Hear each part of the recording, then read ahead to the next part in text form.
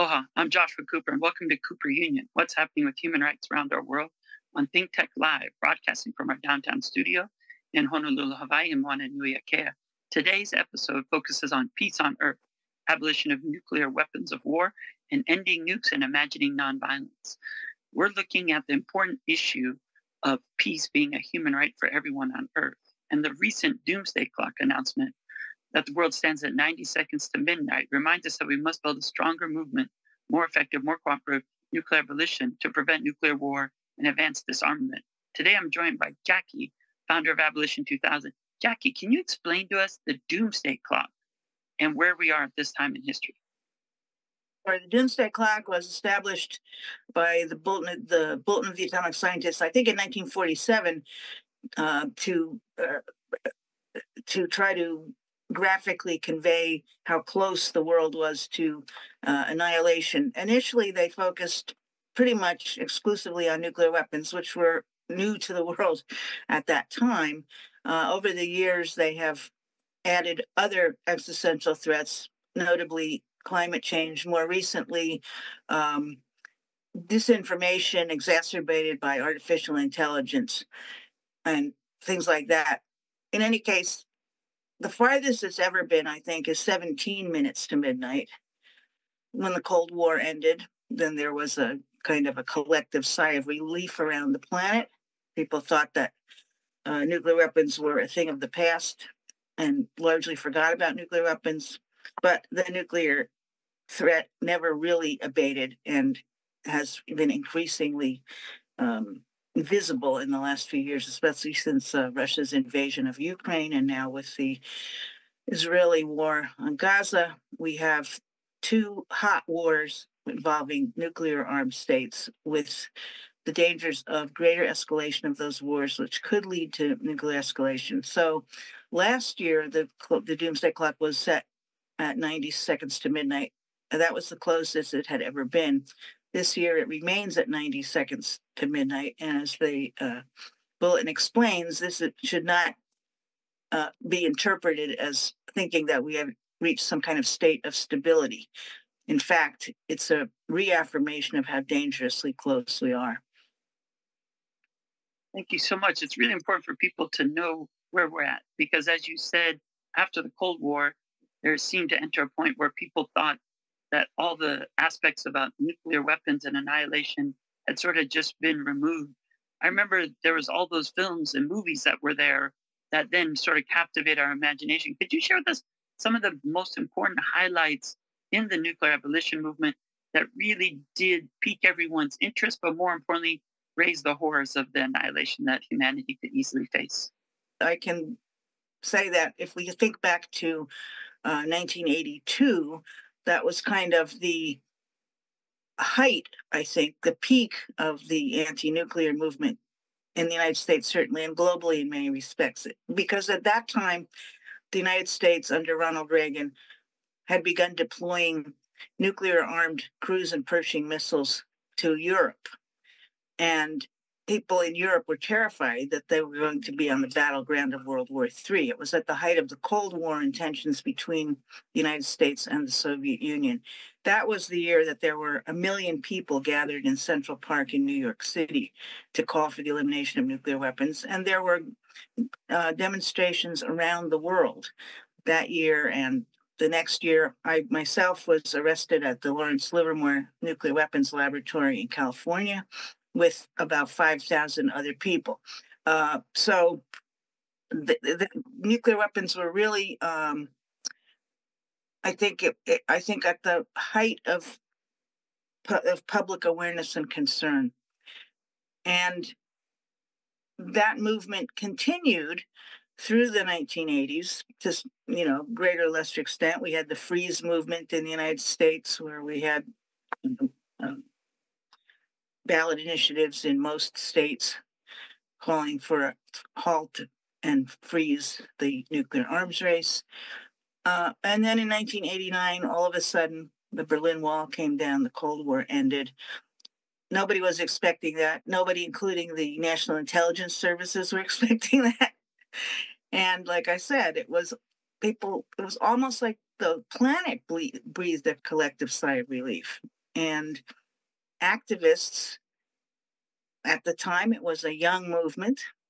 Act young activists moved on, had families, got involved in other issues, uh, Central America, anti-intervention work there, anti-apartheid work, environmentalism, and the issue really disappeared. It's almost like it fell off a cliff. But within the nuclear armed states, the nuclear weapons juggernaut continued. And in the United States, for example, in 1991, uh, Colonel, not Colonel, um, the, the head of the Joint Chiefs of Staff, Colin Powell, said we no longer have the luxury of having a specific enemy to plan for. We have to plan for every many enemies, and that very much is being echoed now in U.S. nuclear war planning, which is contemplating two wars with two nuclear armed states at the same time. That would be one with Russia and one with China.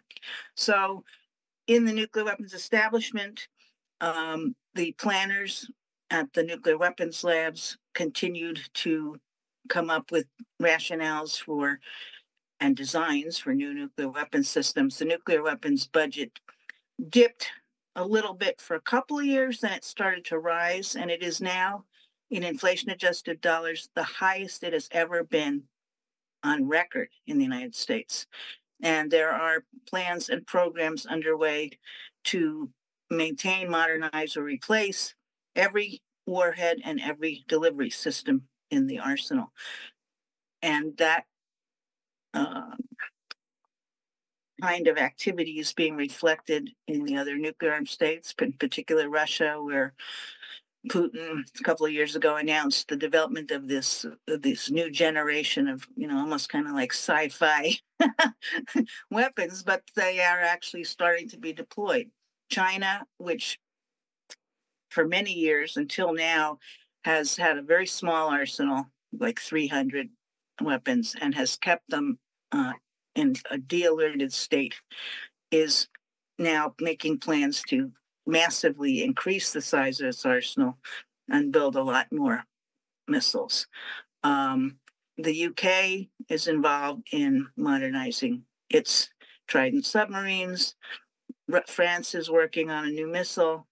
Um, Israel, the ghost in the machine, so to speak, is ma- maintains a nuclear triad like the United States does. It has strategic bombers, it has um, land-based missiles, and it has submarine-based missiles. And then we have India, Pakistan, and we have North Korea, which is testing a lot of missiles and is possibly preparing for another full-scale nuclear test. So we have a new generation of arms racing underway now.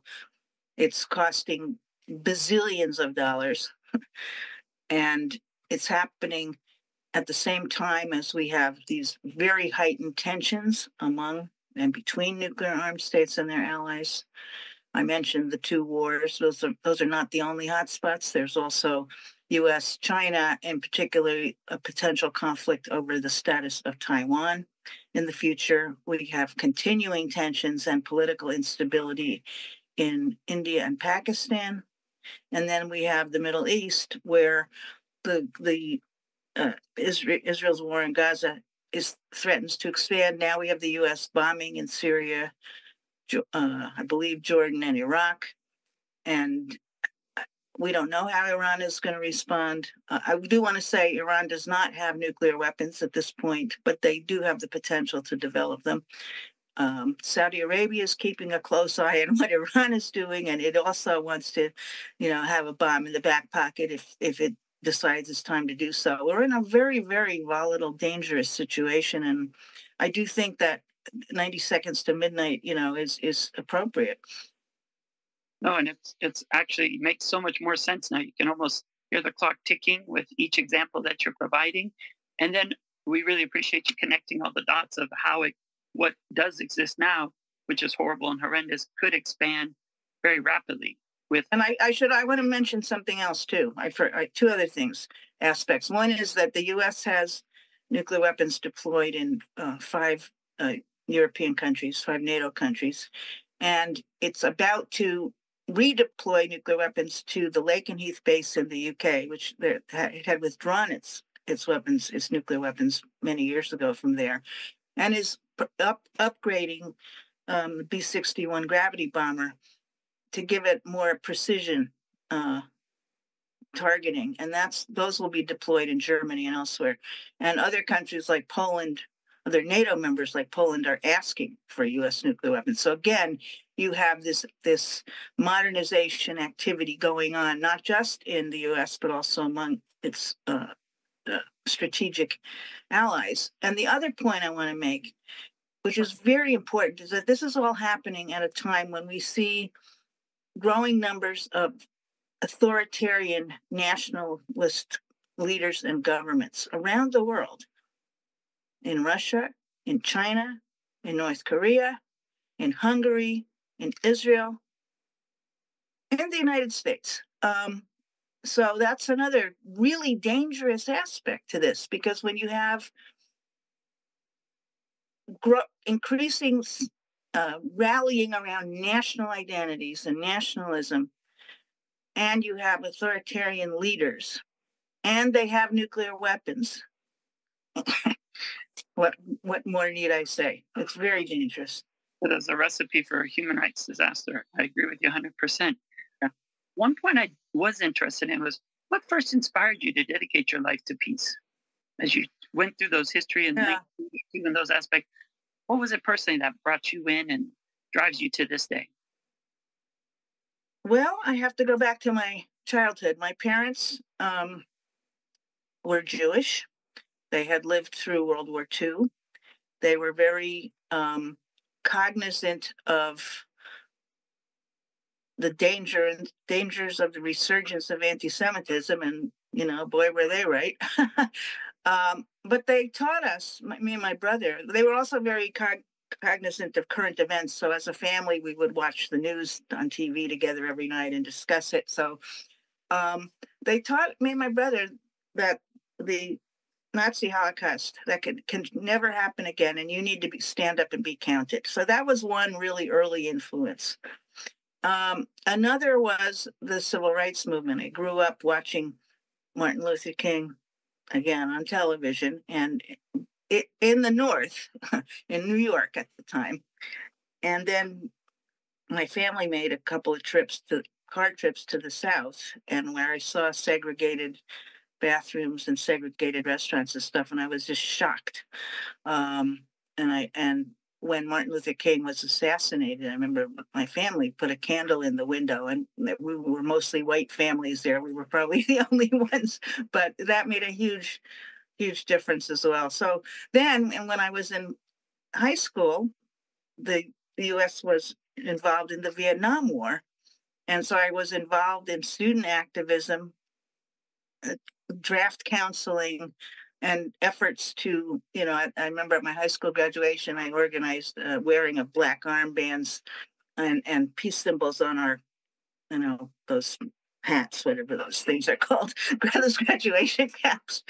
Um, and then uh, in high school, also uh, had a very progressive um, set of teachers. It was the first the first Earth Day, hmm. and so we they inspired the students to organize an ecology group, which I was very involved in and learned about ecology. And, at that time, learned about thermal pollution into the ocean from nuclear power.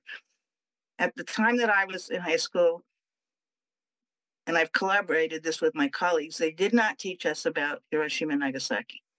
Uh, anyway, so so that awareness led me to uh, get involved in anti-nuclear power work, and then again, we, as I said, there's the Vietnam War going on. There was that anti-war work, and then that was also sort of the the first wave of the recent, the modern age of feminism. So there was also um, an emergent feminist movement. Those three things sort of came together for me. You know, ecology, nonviolence, and feminism.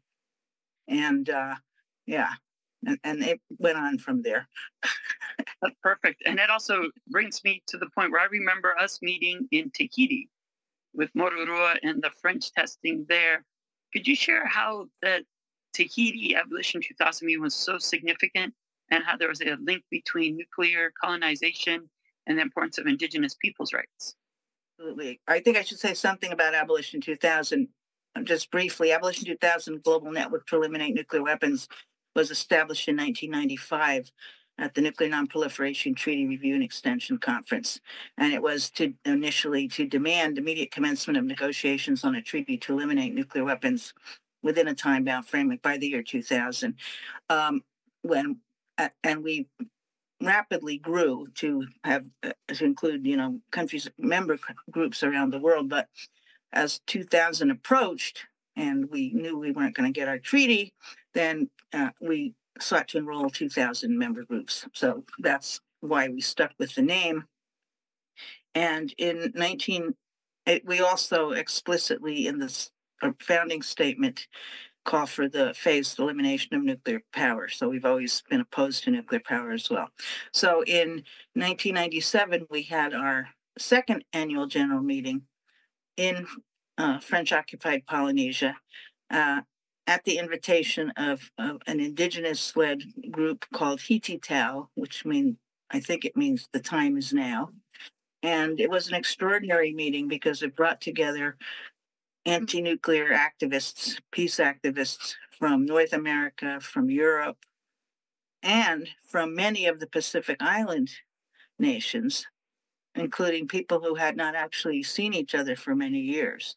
And when we were there, we really got an education about the full scope of impacts of the nuclear enterprise on colonized and indigenous people because French Polynesia had been the site of France's um, above ground and underwater nuclear test explosions, and the populations there were experiencing what populations exposed to nuclear testing everywhere experience help with health effects, environmental impacts, intergenerational effects, and so on.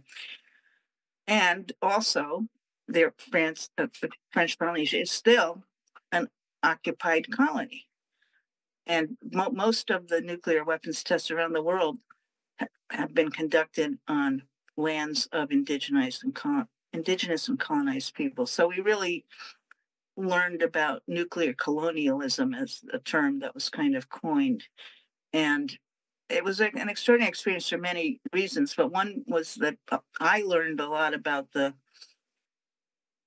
sort of eh, eh, history uh, of colonized people.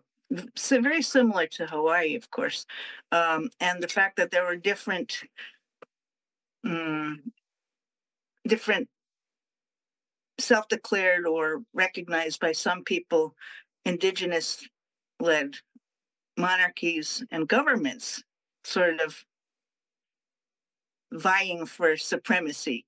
Hititau is interesting, our host, because they were not they're not a political party and they they said it was too they felt it was too soon to be engaged in uh in independence uh, activity. What they wanted to do was to reclaim and regrow a sustainable indigenous economy that would put them in a position to be self sufficient uh, in the future. So that was another interesting dimension of it.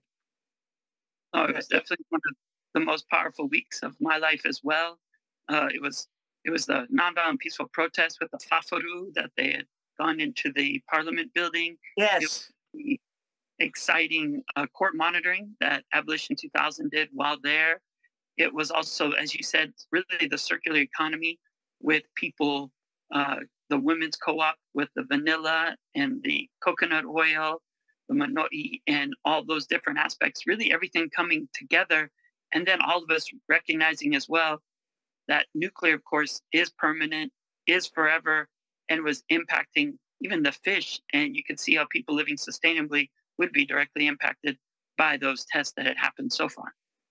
Did issue the Moorea Declaration recognizing the uh, uh, disproportionate suffering of indigenous and colonized people from the nuclear cycle, and that became kind of an appendix to the Abolition 2000 statement. Very important. It's true, and it also reminded me too. Even I remember it was it was really a non-commercial week that really living there. It was everyone was there for mutual exchange taking care of each other. And you could really see how the indigenous values were exercised and coordinated. And that week really did, I think, build and bring life into the anti nuclear movement. As you said, nuclear colon- colonialism really became a more recognized term. And if you do look around at the history of nuclear testing, it is always on indigenous peoples' sacred homelands and brought it all together. One other important aspect of the amazing work you do is Mayors for Peace. And I remember seeing you a couple years uh, in Honolulu at the Mayors for Peace conference. Could you share a bit about that?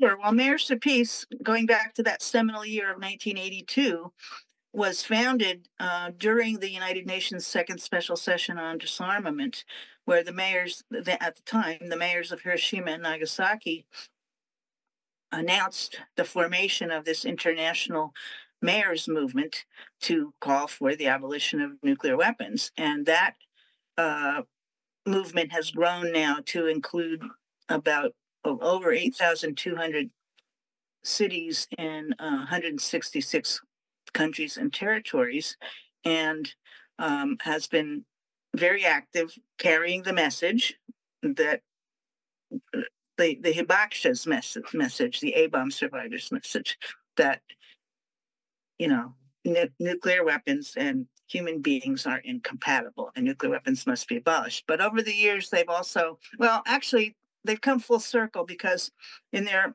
original covenant, Mayors for Peace did recognize the linkage to a lot of other issues poverty, uh, refugees, and so on.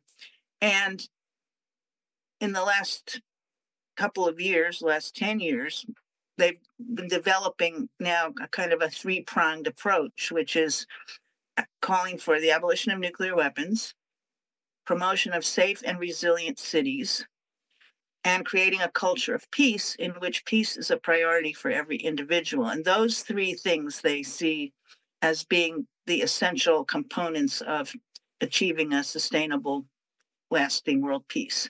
And so, this in different parts of the world, this uh, cities, member cities are encouraged to link up their uh, nuclear abolition advocacy with you know whatever the other you know issues of, of local concern to them such as in some parts of the world terrorism refugees certainly poverty certainly environmental issues certainly and so on. So it's another somewhat holistic approach i do think that before we run out of time we should mention and maybe you were going to bring this up we just had our 28th annual general meeting of Abolition 2000 virtually. We've done them virtually since the pandemic, and it allows for a lot more international participation from all over the world. But we were really excited to have the participation of a youth group from Tahiti, um, which has gave a fantastic presentation. A youth group which focuses on nuclear abolition and climate change. And we had another fabulous presentation from a youth group from Kazakhstan, which was the site of the Soviet Union's principal nuclear test site. Uh, and they're called Steppe, uh, S-T-E-P-P-E, Steppe Organization for Peace, STOP. And they gave a fabulous presentation focusing on the need for nuclear abolition and, and, and uh, compensation to um, victims of nuclear testing, but also calling for Soviet decolonization of Kazakhstan and a feminist foreign policy for Kazakhstan. So I'm just really impressed with these these new uh, emerging movements of young people picking up the work of their parents and grandparents in in in these directed directly affected um, communities. And it, it's a great example, really, because Abolition 2000 movement does draw on the experience of longtime activists and the energy and innovations of young campaigners. And as you said, it, was a celebration of the 20th 8th, but it also links many of the issues that you're talking about of sustainability, resilience. We know that Maui, as well as Kauai, Hawaii, and Honolulu are all signed on to Mayors for Peace. We also, though, as you made the connections, the recent UN Human Rights Committee review of the International Covenant on Civil Political Rights and its general comment it just released and the campaigns have been done around the Universal Periodic Review is climate change, nuclear war, and human right to life. Maybe you can share a bit about this interconnectedness and how Abolition 2000 is going forward to make sure that we can realize UN Sustainable Development Goal number 16 for peace and justice around our globe. Well, it seems that uh, people who are working on a variety of issues are all sort of grasping for the idea of how to work together more effectively to build a more powerful unified movement. That seems to be a very broad theme. And um, I, I, will say about uh, Sustainable Development Goal 16, I think we need to see that, I mean, peace and, and, and human security are, or whatever the term used in that, in that article, are kind of buried in this other article. It's not a full point itself. And I think that in the next iteration of sustainable development goals, it, it really needs to be a point on its own of peace, you know, um, peace, because otherwise the other ones are are are always at risk. Um, in the United States, and Hawaii is, a, you know, like it or not, part of the United States. Um, but we there is an emerging movement which is also trying to seeking to bring everybody together, which is called the Poor People's Campaign, a national call for moral revival, which I think has a great deal of potential. Um, a year before he was killed, Martin Luther King gave a speech called Beyond Vietnam: A Time to Break Silence, where he identified the triple evils of systemic racism, systemic poverty and uh, militarism. And the, he was assassinated exactly one year later, and I don't think that was a coincidence. Um, so his work has been picked up now by the new Poor People's Campaign, led by Reverend William Barber II and Reverend Liz Theoharis, and they've added to the triple to the triple evils of systemic racism, systemic poverty, uh, militarism and the war economy, environmental devastation, and a distorted moral narrative that blames poor people for their own poverty. And they say these things are all intertwined and are woven together through a moral fusion campaign. So I think that moral fusion is a very good way to think about the path to building this broader, more unified movement that we need to, to survive really important. And while we're talking about the civil and political rights under the Human Rights Committee and how they've had that new general comment, it really is important to look at the economic, social, and cultural rights, which has never been addressed or recognized as much in our country. And I really appreciate you bringing those economic, social, and cultural rights together because it is environment, it is economy, it is ecology, it is equity. And we have to bring all that together to be able to understand what matters most. What would you say would be the next steps for Abolition 2000 after this important AGM?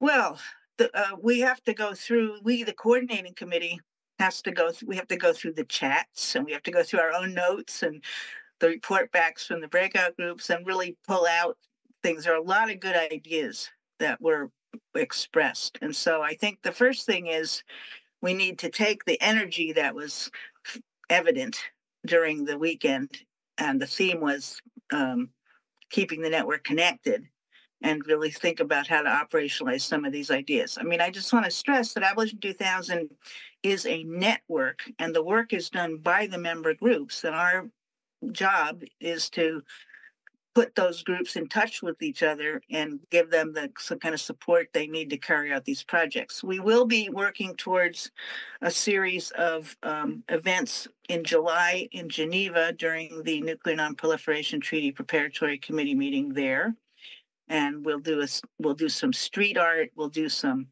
workshops. We'll make, make statements to the uh, official governments and have some informal meetings there. So that's our next big event.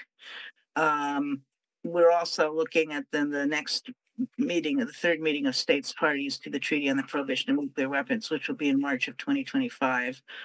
Um, but we'll be, you know, we have a couple of working groups. For example, there's one called Nuclear Weapons Convention Reset, which is um, saying it's taking a fresh look at the Model Nuclear Weapons Convention that Abolition 2000 produced or came out of Abolition 2000 in 1997 originally, which focuses again on the nuclear weapons states, the nuclear armed states, and their legal obligations and moral obligations under the Nuclear Nonproliferation Treaty and customary international law to actually implement nuclear disarmament.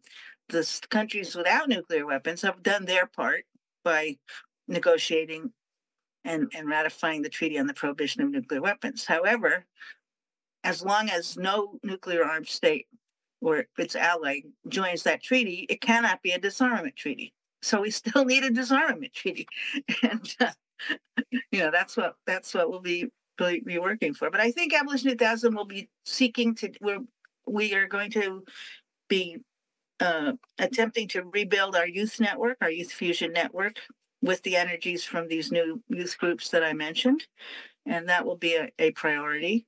And um, we'll also be continuing to seek ways to make common cause with uh, the climate movement in particular. Um, if I have time, I mean, there's one thing that that's really has struck me because we've been trying for years now to approach the climate change activists and say there are two existential threats. Let's work together, and that argument doesn't seem to have stuck. It, it hasn't seemed to have been very effective. And something that occurred to me during the Treaty on the Prohibition of Nuclear Weapons meeting of states parties in New York in November was it was happening at the same time as COP28. When the US and about 20 other countries went into COP28 with a commitment to a pledge to triple production of commercial nuclear energy over the next 30 years. And here we were listening to the testimonies of uranium miners and their families and their communities, the victims of nuclear testing, the people who've been affected at, at all nuclear waste, at all parts of the fuel chain. And I think that we need to get those testimonies into the climate movement so that young activists who may be bamboozled into thinking that nuclear energy is the solution to climate change understand what that means in terms of its human impacts and its effects on indigenous and frontline communities. So that's one thing I'd like to see a lot more uh, uh, developed a lot more. So thank you so much, Jackie. And we appreciate your insights and more important, your dedication to peace and human rights. We thank everyone for watching Cooper Union. I'm your host, Joshua Cooper, and aloha. Mahalo.